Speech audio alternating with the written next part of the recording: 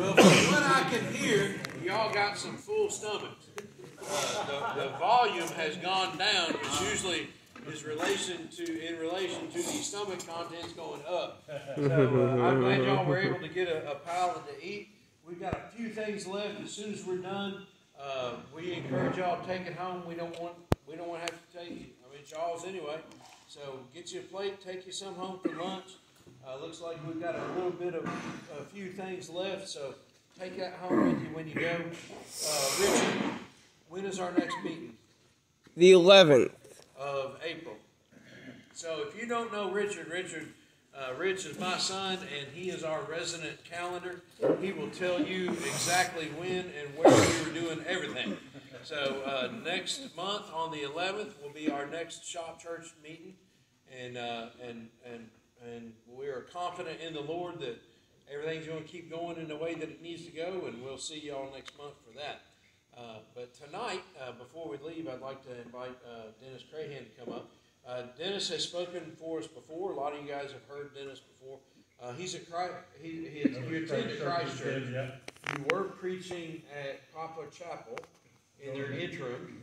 And Where are you? Are you preaching anywhere now? Just wherever somebody. Wherever somebody needs you. So there you go. He's he's a he's a he's got a Bible for high. So uh, uh, if you need, if you know of anything, please talk to Dennis tonight. Uh, Dennis, uh, I've heard him preach before. Uh, I relate to his uh, testimony, and I love to hear the man preach. And so we're glad to have Dennis preach for us tonight. So Dennis, take her away, buddy. Good to be with you all again. I'm gonna ask you to do something for me. Okay? On mm-hmm. three, I want you to say, that man ain't right. One, two, three. That man ain't right. No, know, you're right. I'm not right. We're talking about love. All these men. I'm not going to sing any Barry White songs either. I'm not right.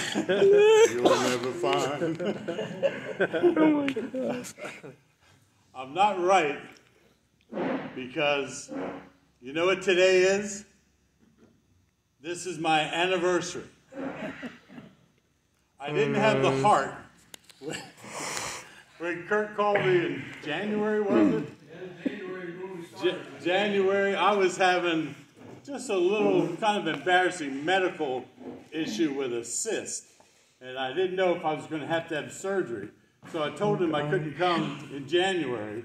Maybe we could schedule it sometime down the road. And uh, he said, Well, how about March? And I said, Sure, March would be fine.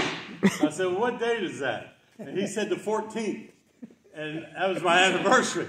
And I didn't have the heart to tell him. I mean, look, look at his face, would you? Would you have the heart to turn him down?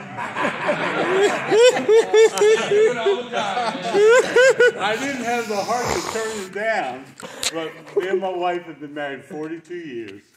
And after 42 years, and I, and I always loved Debbie, but I really didn't know how to love Debbie.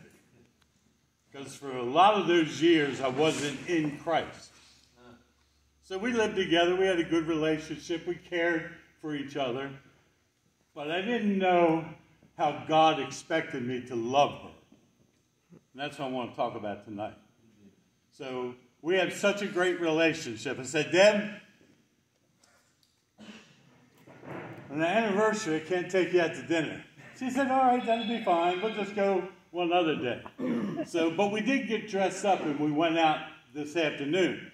I took her to a funeral in Elizabeth City. so don't you tell me I'm not romantic. oh my gosh, that's hilarious. But I'm probably going to piss you off tonight, some of you, because I'm going to tell you what God expects of you as a man and a husband. And that's not an easy thing to talk about in front of a group of men, especially nowadays. But if you would do these things, you'd be a man God be proud of. And your wife would be so blessed. Because we're talking about love. And for love to really work, you've got to do it God's way. Because any other way of love is worldly, it's of, it's of the world. So it's flawed, it's imperfect. but you got to get the God thing right first. And Matthew 22, in the Great Commandment, you know, Pharisee comes up to Jesus, says, trying to trick him. So, well, what's the, the greatest commandment? And Jesus said, well, you got to love the Lord your God with all your heart, with all your mind, and all your soul. I mean, that's an all compelling love. That's not a dripped in out of church every now and then love. That's not an Easter Sunday, Christmas uh, Eve kind of love. That's a God first in everything kind of love. And it's a love, it's an L1 love. Just a L and a 1. And then there's an L2 love. And he says, once you get that right, once your soul is going to be connected to God properly in worship, you will love Him with all your heart, mind, and soul. And then he said, just do what comes naturally once you get that right.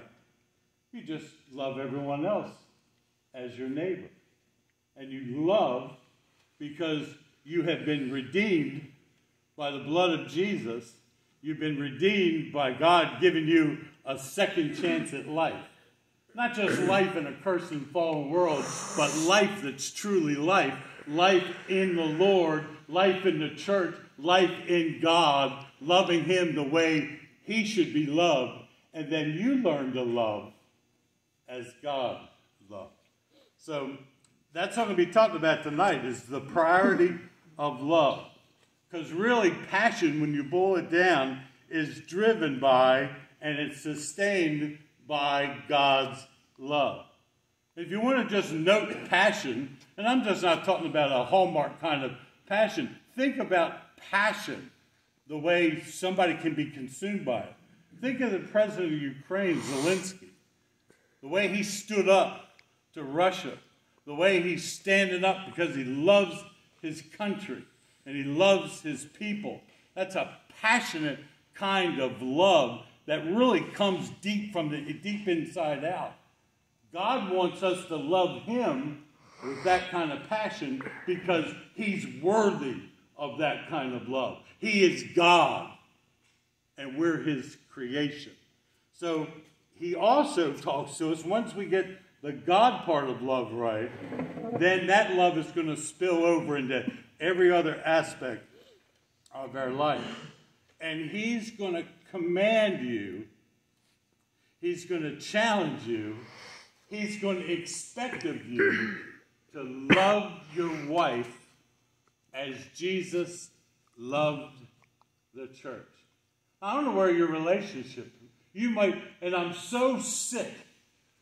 Been preaching Jarvisburg for 25 years, and I saw marriage upon marriage, even in the church, break up. Where I'm worshiping now, three or four young couples are breaking up, and they attend church. If they had a husband that loved their wife as Jesus loved the church, that marriage would never have failed. So God's going to hold you, He's going to hold me accountable for the way we love the person that God has brought into our lives. And He outlines that in, in uh, Ephesians chapter 5. Wives, and this is the part you'll like, wives submit to your husband as to the Lord. For the husband's the head of the wife, as Christ is the head of the church, his body, which he is the Savior. Now, as the church submits to Christ, so also wives submit to their husbands in everything. Oh, man, we love that. Your Bible says you're supposed to submit to me. Uh-uh. Love, he's, he's assuming in this text, because he's been talking about the love of God and the, and the love for God in the church through the whole book. And he's assuming that as a man who's in the church, and as a man who is in Ephesus, or a man who's living in Beargrass, that if you're in covenant with Christ, you will love your wife as Jesus loved the church. And if you love her like that, the natural flow of her love back to you will be awesome. It'll be genuine. It's bathed in love. It's bathed in agape love of God. No strings attached. You love her because God brought her into your life, and it's your responsibility to love her and care for her. And then he says, Husbands, love your wives just as Christ loved the church and gave himself up for her to make her holy, cleansing her by the washing with water through the word, and to present to her himself as a radiant church, without stain or wrinkle or any other blemish, but holy and blameless. In this same way, husbands ought to love their wives as their own bodies. That's an all encompassing kind of love. He who loves his wife loves himself. After all, no one ever hated his own body, but he feeds it and he cares for it. Amen. We just fit. We just did. You just, We just- you just put on the show. You fed and cared for yourself. After all, no one ever hated his own body, but he feeds and cares for it, just as Christ does the church. For we are members of his body. For this reason. And he's quoting this from Genesis chapter 2, back in the beginning of, of, of mankind. It says, For this reason, a man will leave his father and mother and be united to his wife, and the two will become one flesh. This is a profound mystery, but I am talking about Christ and the church. However, each one of you also must love his wife as he loves himself, and as the wife must respect her husband. You do your job and love her the way God expects you to love her, the reciprocal nature of that will be her love and affection and devotion for you. And that's what God intended. He intended the family, He intended the Christian man to marry a Christian woman, that they would raise children in the nurture and admonition of the Lord, so that they would propagate the faith throughout all the earth. And I went to Melvin Stein's funeral today as a professor at uh, uh, Roanoke Bible College for many years. He's also uh, was our professor when we were in school, the counseling professor.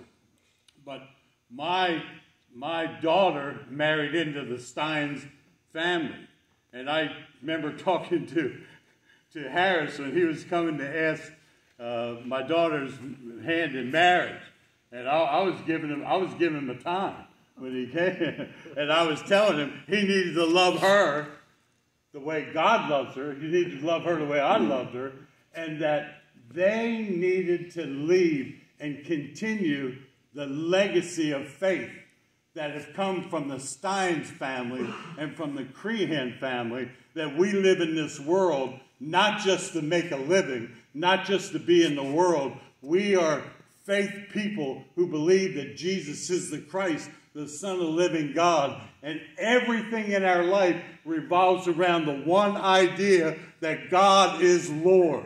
Amen. Amen. And that if we follow his precepts, our life will be the best possible life that we can live in a cursed and fallen world, living wrapped in this flesh that craves to do sinful things 24 7. So, what do I want you to do? I want you to go home and love your wife like you've never loved her before because God expects you to do that. I don't want your children to have to go through a divorce and watch their mother and father separate. It does devastation to the children.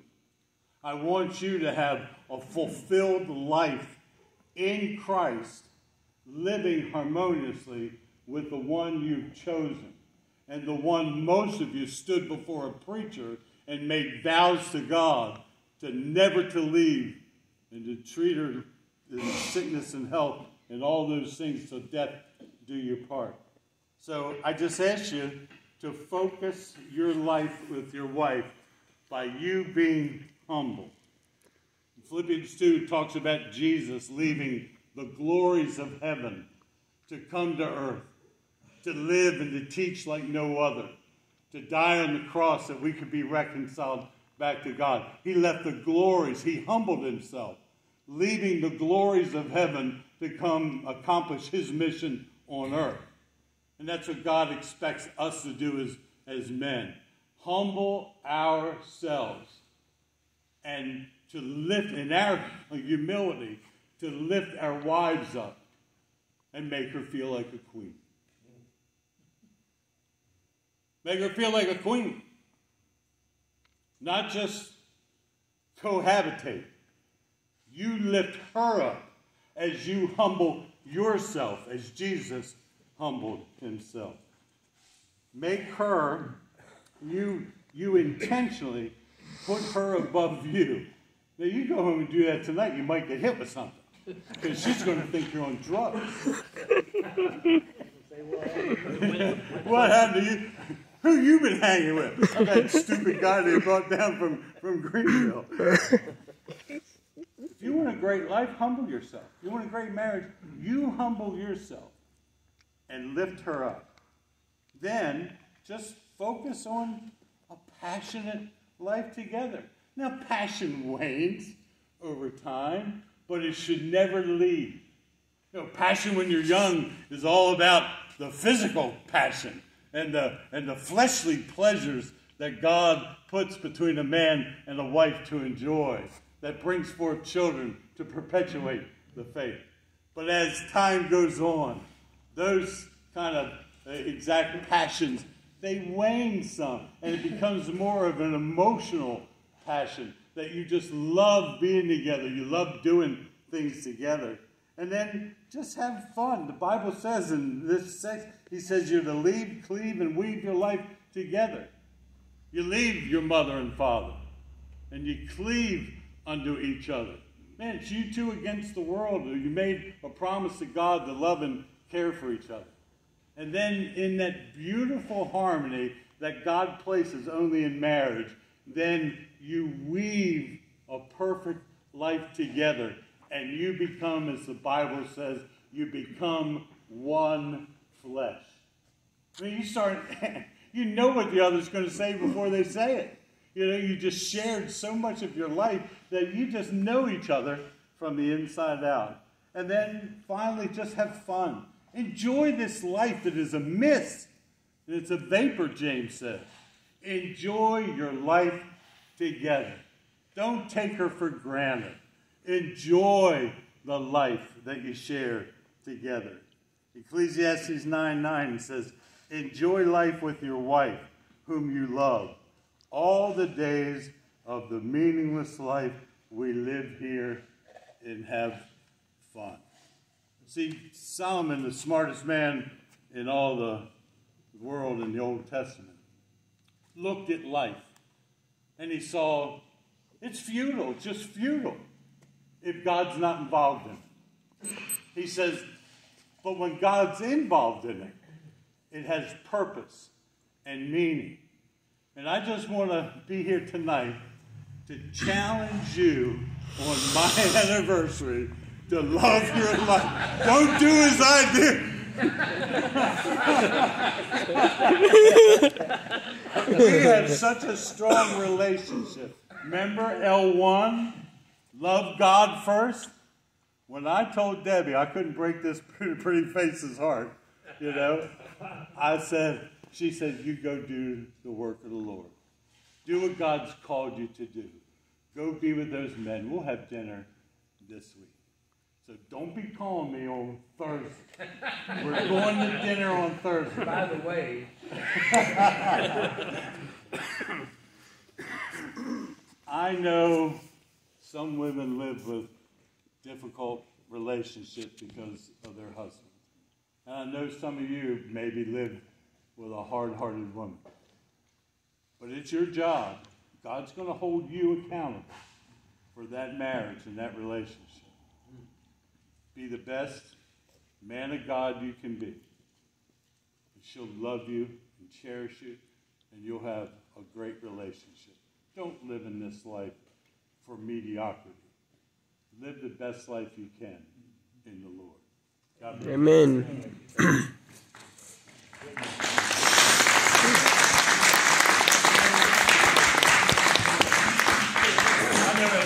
I, I know there's some folks out here that ain't married, but you just heard how to do it right.